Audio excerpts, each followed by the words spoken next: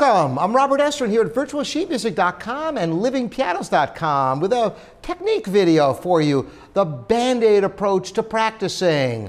All right, what is the band aid approach? You may have never heard of it before. Well, that's very likely because I made it up, and it's actually a great technique. You know, in practicing, I really strive for efficiency. I want to get as much done as I possibly can in the time I have. You know, I wish I could practice all day long, but my schedule doesn't always permit it. Before concerts, sometimes I'll get, you know, that opportunity, but things get crazy and I try to get as much done every moment. Now, there's many valuable techniques. Of course, memorization is a staple for any pianist and other instrumentalists might memorize as well. There's technique, there's scales, there's arpeggios, there's refinement, there's a whole host of different types of practice technique. So what is this about the Band-Aid approach and why is it so special and uh, why does it improve the efficiency of your practice? Well, I'm going to tell you all about that. Here's the way it works.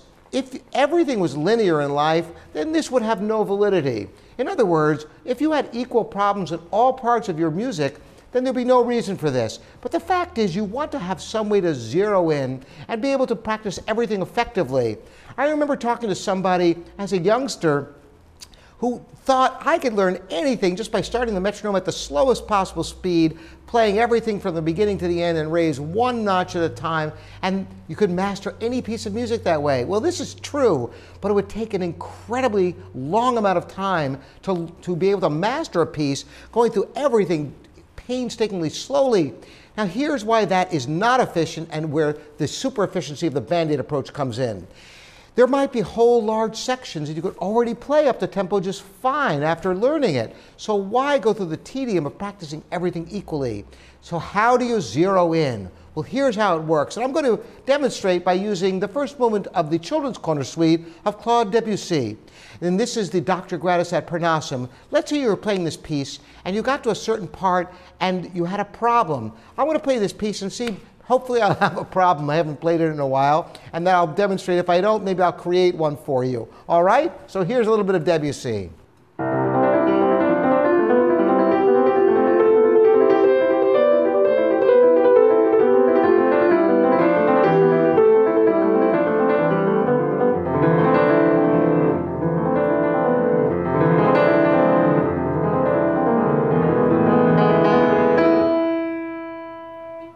Notice right there, I missed a note. I don't know if you could hear it. So, what is a band-aid approach? Do I start, okay, let's get the metronome out, start from the beginning. No, I'm not going to do that. I'm just going to go right to where that problem was.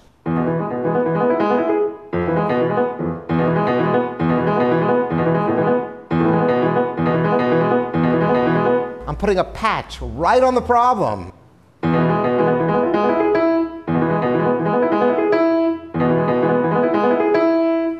Now, once you put the bandage on and you have it totally ironed out and you can play it many times effortlessly, you can play it even faster than it goes, and you're totally comfortable, remember you must always put your corrections in context. So be, the next step would be to go back, not all the way to the beginning, because that's not efficient either. Because if there's a problem connecting the phrase, you want to start maybe a measure or two before the, prob- the, the patch you just made. Make sure the patch is in there. Once it's fluid, starting the phrase before, and you can do that a number of times, then finally go back to the beginning of the section or the beginning of the piece in this case, and make sure that your bandage sticks. All right? So that's the band aid approach. You can use this any time you have a piece of music. For example, if you're restudying a piece you haven't played in a long time, do you have to relearn everything? Well, maybe not. You might go through and find you can play large sections without a problem. As soon as you get to a part that is a problem, that's the part to zero in.